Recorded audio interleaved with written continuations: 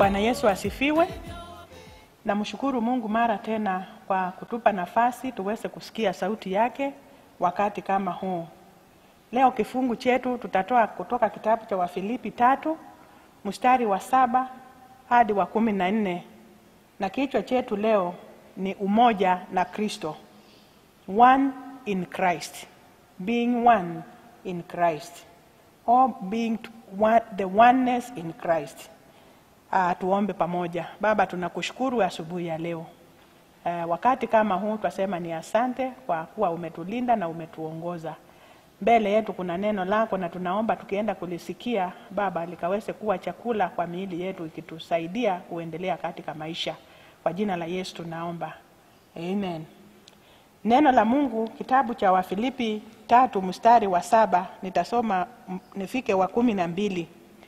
Lakini mambo yale yaliyokuwa faida kwangu naliyahesabu kuwa hasara kwa ajili ya Kristo.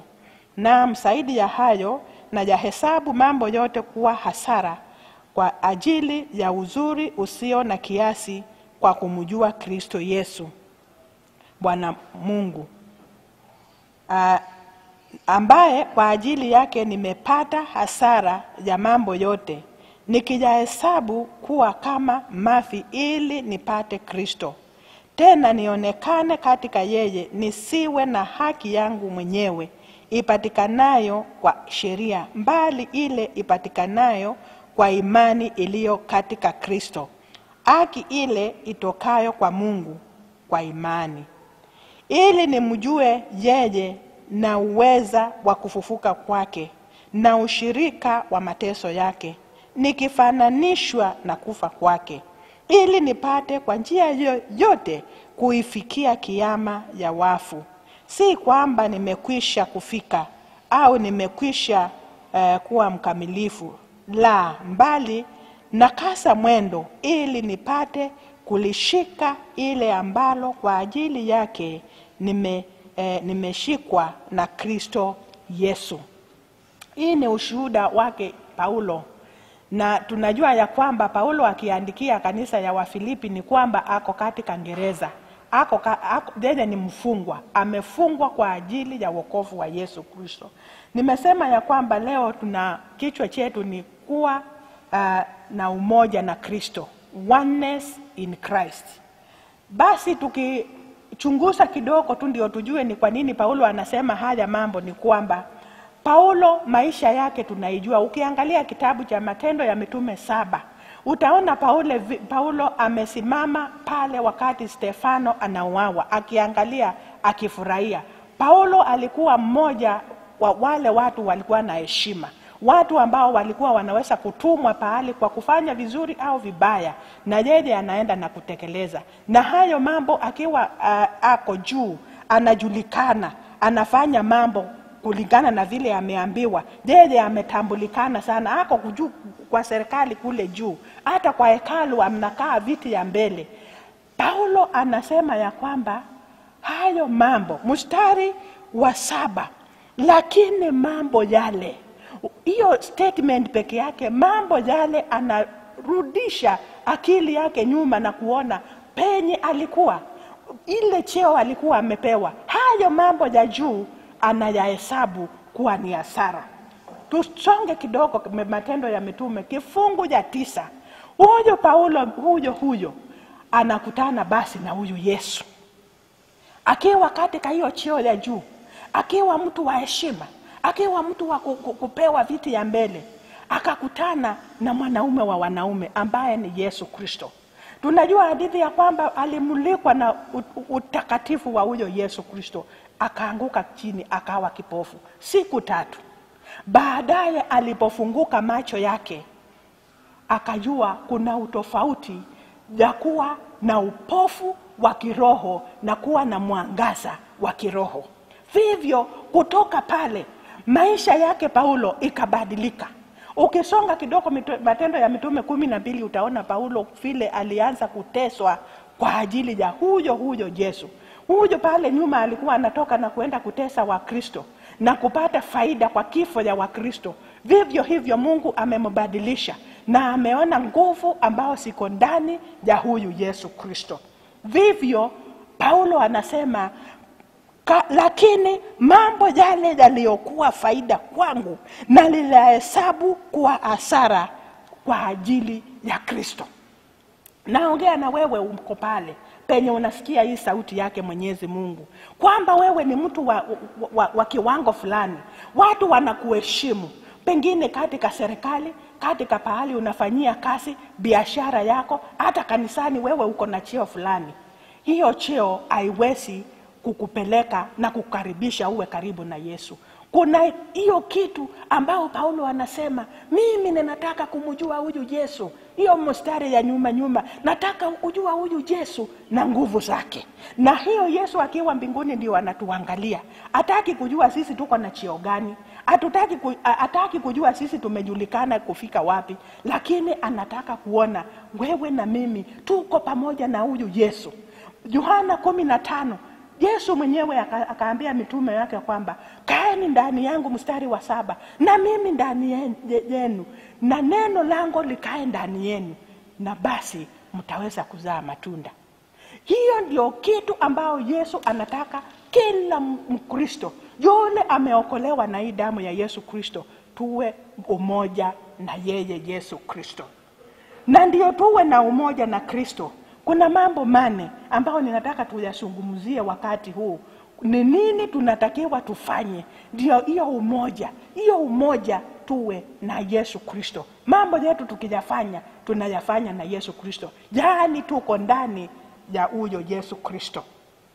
Jambo la kwanza mstari wa saba mpaka tisa paulo anasema hesabu mambo yote kuwa ni hasara. Wakati mwingine tunaweza kuwa tukishikilia vitu vyetu tunaweza kushikilia watoto wetu. Wamama wa, wa, wake wameolewa unashikilia mume wako. Na wewe mume pengine unashikilia mke wako. Wewe umekaa pale na una kitu chako cha maana unaona hicho ndio ninashikilia. Hata yesu mwenyewe katika kitabu ya mathayo anasema ya kwamba akili ya mtu na nguvu za mtu siko pale kwa mali yake na ikiwa akili zetu zitakuwa ndani ya mahali yetu na ndani ya vitu ambao tuko nazo hapa ulimwengu huu na kuambia ya kwamba kuwa ndani ya yesu kristo itakuwa ngumu sana.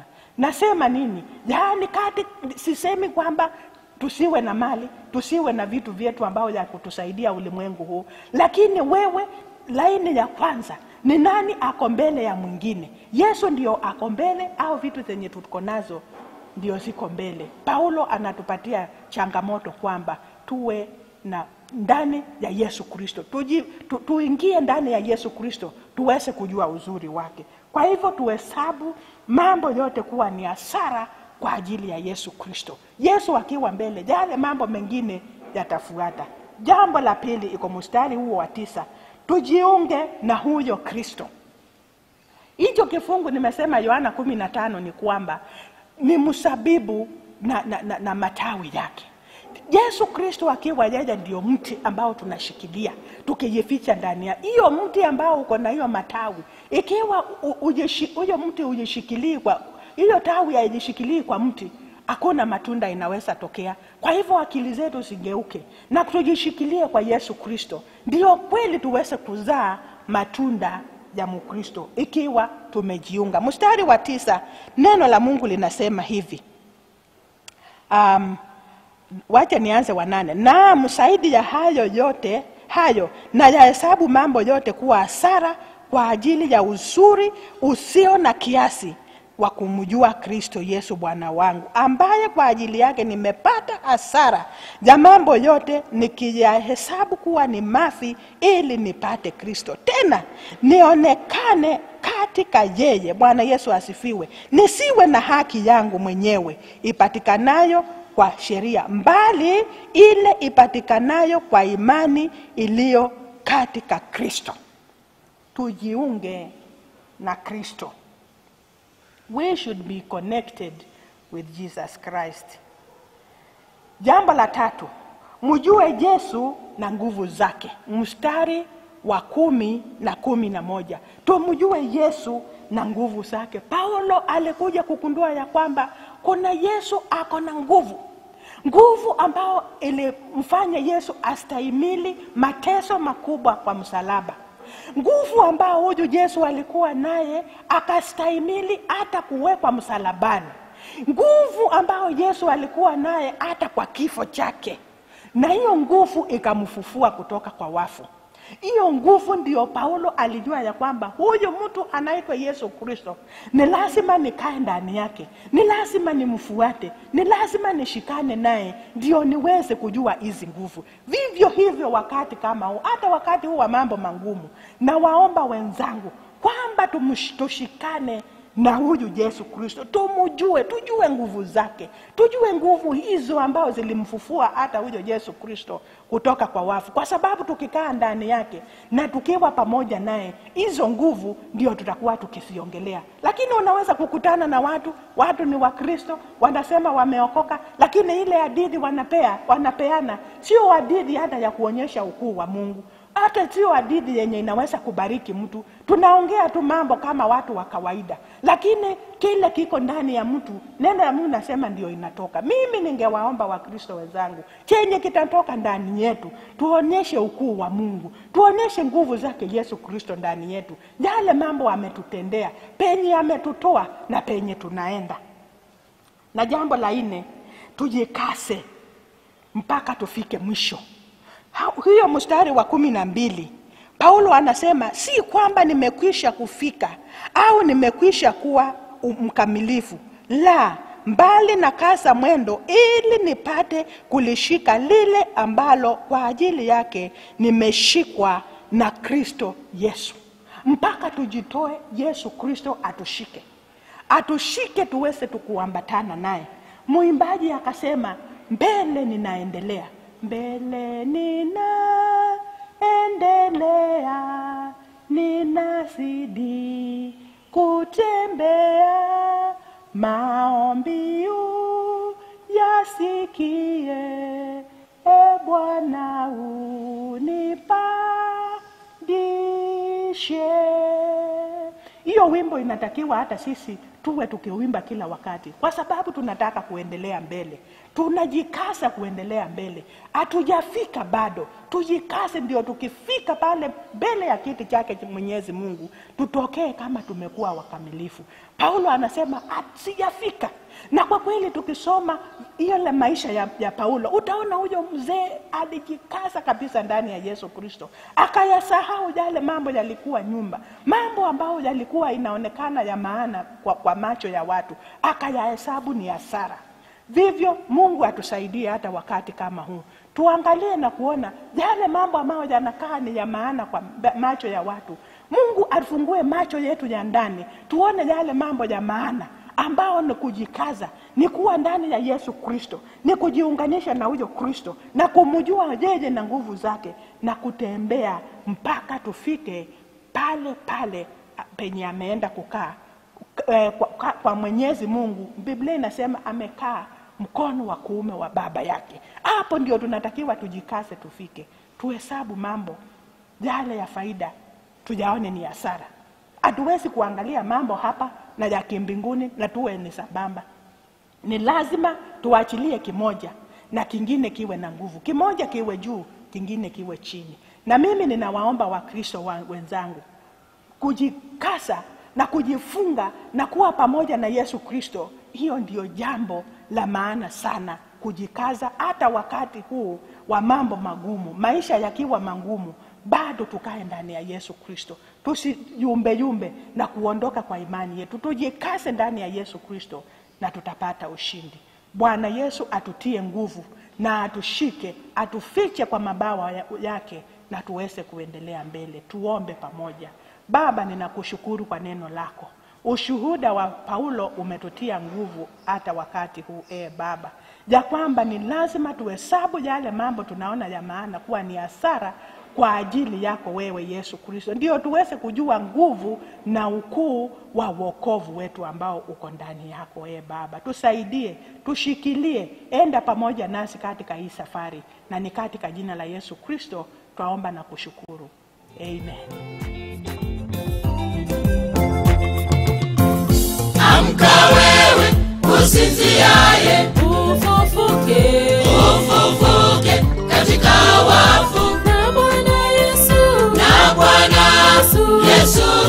stop